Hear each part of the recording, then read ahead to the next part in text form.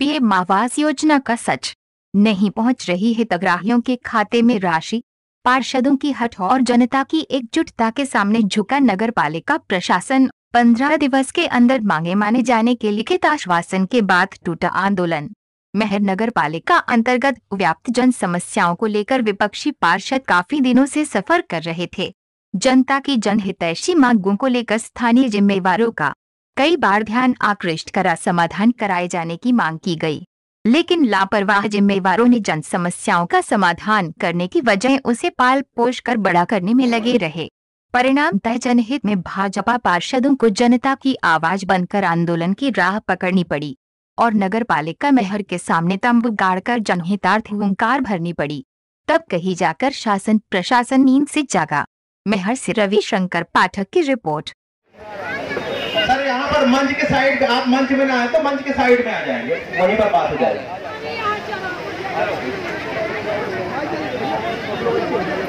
आइए भैया। आ जाइए ना भैया। आ जाइए सब लोग ऊपर आ जाइए ना भैया।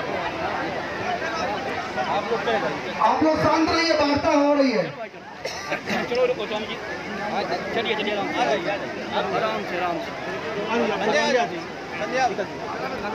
लिखित रूप से दिया कि हमारा इस नगर पालिका से ट्रांसफ़र करा दिया जाए। मतलब अध्यक्ष का इतना भय है कि लोग यहाँ से ट्रांसफ़र करा के भगना चाहते हैं। ये स्थितियाँ हैं नगर पालिका की। मैं क्या बताऊँ? तो क्या आपकी मांगे लिखित रूप में स्वीकार की गई? भैया हमारी मांगों को लिखित रूप में यहाँ पर ये सीओ के हस्ताक्षर के साथ उन्होंने लिख के दिया है।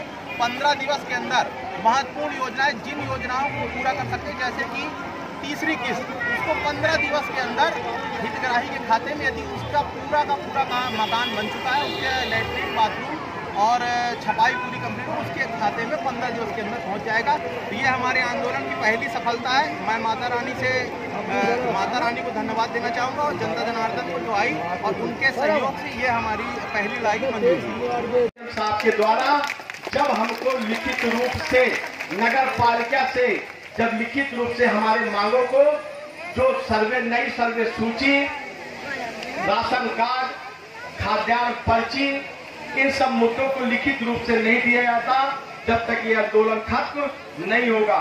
हमको 12 से 2 बजे तक का मात्र दो घंटे का समय दिए हैं कि दो घंटे के अंदर अपना आंदोलन समाप्त कर ले। ये भी एक गुंडई का प्रतीक होता है कि दो दो घंटे के अंदर आप आंदोलन समाप्त करें, वरना एक साल से ठेका नहीं कराया गया। सिर्फ़ ठेका इसलिए नहीं कराया गया कि जो पैसा आता था, उसका बंदर बांट किया जाता था। जब वसूली होती थी चार से पाँच हज़ार रुपए, यहाँ मात्र दो सौ रुपए आके यहाँ पे जमा होता था। भैया, ये दो सौ रुपए आया हुआ है, इसको जमा कर दीजिए। वो पूरा का पूरा पैसा अंदर डंप होता था। मतलब एक महीने का डेढ़ से दो लाख रुपए अंदर करते थे।